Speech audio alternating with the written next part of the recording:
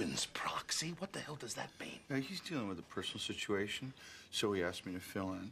Uh, yeah, relax. I'm a professional actor, and these dudes never know the difference. I, I can't freaking believe this So is you're quiet, because I'm trying to prepare.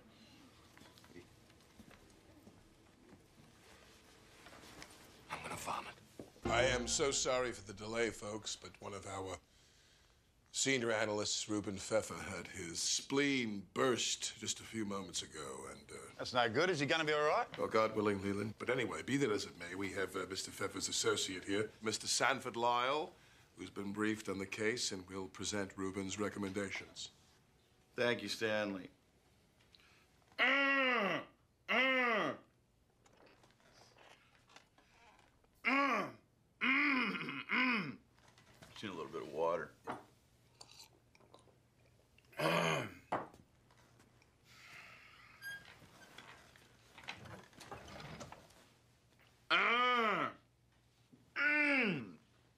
As you know, this is a highly complex case.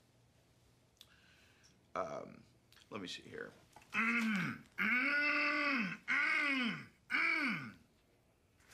Yeah, on the plus side, uh, Leland's blood pressure is pretty solid. And he's uh, at a decent weight, and he looks pretty damn healthy, right? I mean, he's a sexy guy, right? And he is sexually active in the community.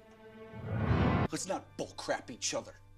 On paper, Van Lew is one of the riskiest sons of bitches alive. But people, we cannot sum up a man's life with a bunch of numbers on a computer screen. Right? We all need to look into our hearts and go, do I think this dude is gonna die in a few years or not? Is old Leland here gonna fight off a man with the last name Reaper, first name who goes by the last name Reaper, first name Grim, or will this base jumping crocodile wrestling, shark diving, volcano luging, bear fighting, snake wrangling, motocross racing bastard die?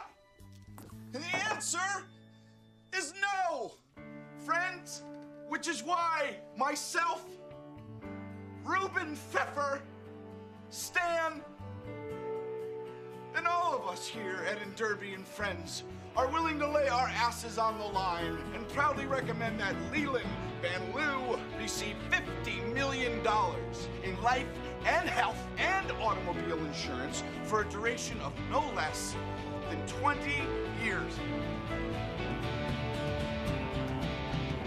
What do you think, guys?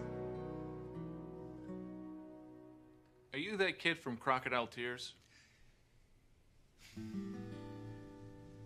You're goddamn right I am. I thought so. Impressive presentation. He's insured. Yeah! Congratulations. Hey, bloody ripper. Love ya, son.